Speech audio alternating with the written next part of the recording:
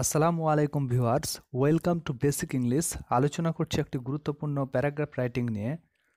Write a paragraph on plastic pollution plastic pollution নিয়ে। দুশো ওয়ার্ডের মধ্যে, তো চলুন শুরু করা যাক।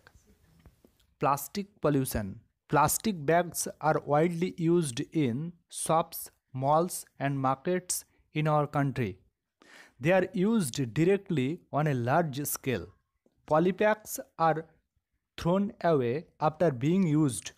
Besides bags, toys, medical materials, household wares, carry bags, and covers are made of plastics.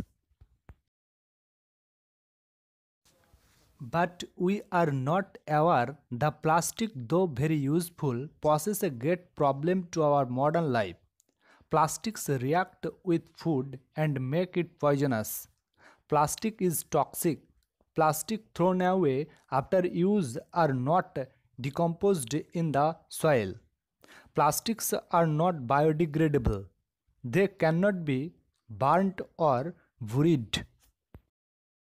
So, when they are thrown in the ground, they clog the arteries of the entire drainage system. Accumulation of faulty water takes place. When plastic is burnt for disposal, it gives out toxic gases. They are liable to cause bronchial for other fatal diseases.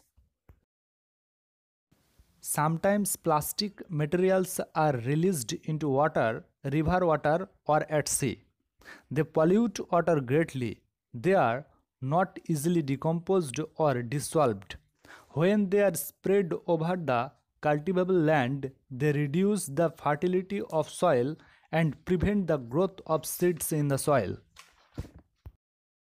The Pollution Control Board should ban the use of plastic, particularly the thin plastic packet. Polythene bags have laid our death trap on the land.